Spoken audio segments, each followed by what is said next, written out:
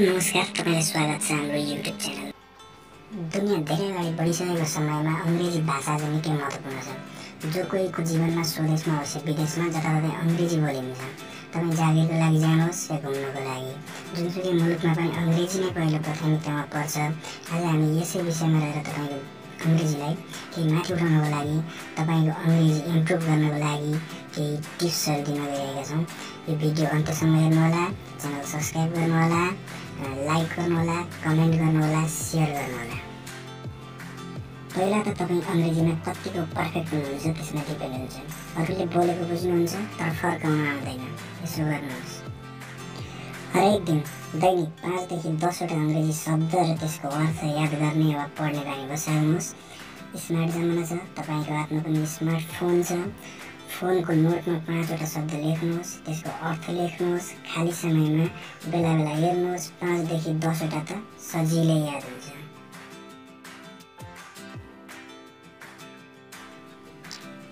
अर्को कुरा तपाईँ अङ्ग्रेजी पत्र पत्रिका पढ्ने बानी बसाल्नुहोस्। तपाईँलाई कुन क्षेत्रमा इन्ट्रेस्ट छ? कस्ता न्युज पढ्न मनपर्छ? जस्तै पोलिटिक्स स्पोर्ट्स वा अन्य कुनै। तपाईँ त्यस्ता न्युजहरू अङ्ग्रेजीमा पढ्ने बानी बसाल्नुहोस् जस्तै the Kathmandu Post Himalayan Himalayan Times जस्ता अङ्ग्रेजी पत्रिका यस्ता न्युजहरू पढ्ने बानी बसाल्नुहोस्।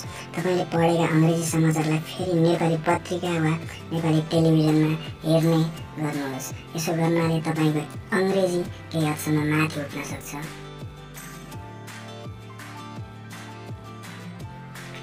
त्यसरी नै अर्को कुरा भनेको तपाईँ अङ्ग्रेजी गीतहरू सुन्ने बानी बसाल्नुहोस्। सङ्गीतको साथमा भएका अङ्ग्रेजी गीतको लय तपाईँको दिमागले छिटो टिप्छ।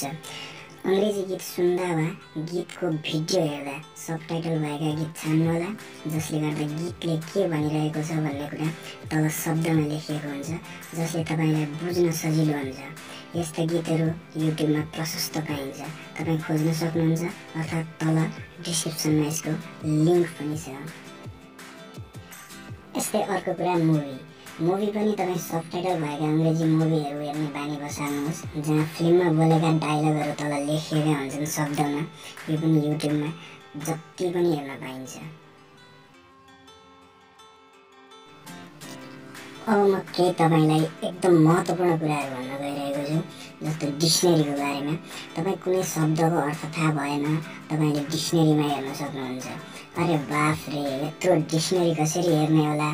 जति बेला पनि बोकेर हिँड्ने तपाईँसँग स्मार्टफोन छ जमाना स्मार्टको छ स्मार्टफोनमा नेपाली डिक्सनेरी डाउनलोड गर्नुहोस्।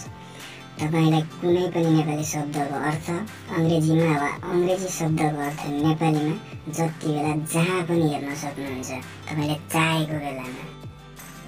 तपाईँलाई उक्त डिक्सनेरीको लिङ्क मैले तल भिडियोको डिस्क्रिप्सनमा दिएको छु तपाईँ त्यहीँ गएर डाउनलोड गर्न सक्नुहुन्छ।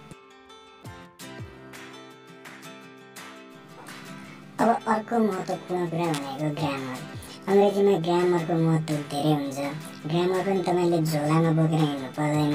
स्मार्टफोन छ यार। प्ले स्टोरमा जानुहोस् लिङ्क तल डाउनलोड गर्नुहोस्। जति बेला जहाँ हेरे पनि भयो। यति कुराहरू जरुर गर्नुहोला। तपाईँको अङ्ग्रेजी केही माथि पक्का उठ्नेछ।